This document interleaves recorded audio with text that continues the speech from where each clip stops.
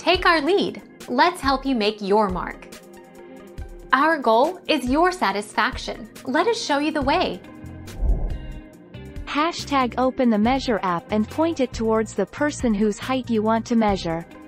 Hashtag ensure that the person is fully visible in the frame from head to toe. Hashtag a line will start to appear over the person's head along with the height mentioned in the empty space below that.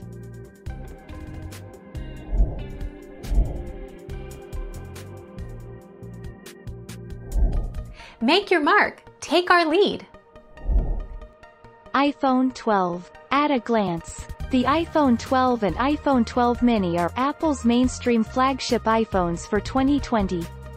The phones come in 6.1-inch and 5.4-inch sizes with identical features, including support for faster 5G cellular networks, OLED displays, improved cameras, and Apple's latest A14 chip, all in a completely refreshed design.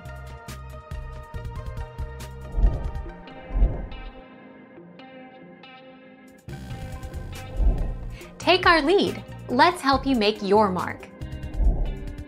On iPhone 12 Pro and iPhone 12 Pro Max, you can use the Measure app to instantly measure a person's height from the floor to the top of their head, hair, or hat. After a moment, a line appears at the top of the person's head, or hair, or hat, with the height measurement showing just below the line.